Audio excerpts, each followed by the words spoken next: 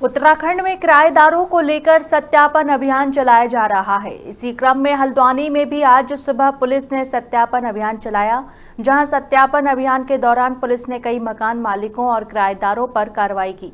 इस दौरान मौके पर भारी पुलिस बल भी देखने को मिला। ऐसे में पुलिस की कार्रवाई से लोगों में अफरा तफरी का माहौल बन गया है।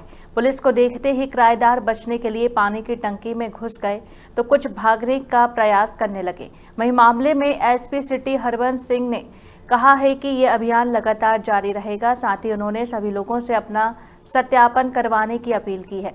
आपको बता दें कि लगातार पुलिस की ओर से काठ गोदाम, बन भूलपुरा और आसपास के इलाकों में ये अभियान चला रही है, जिसमें कई बार लोगों के चालान भी किए जाते हैं। जानकारी के मुताबिक ज़िले भर में 600 से ज़्यादा सत्यापन किए गए हैं। हल्द्वानी से संवाददाता दीपक अधिकारी की रिपोर्ट।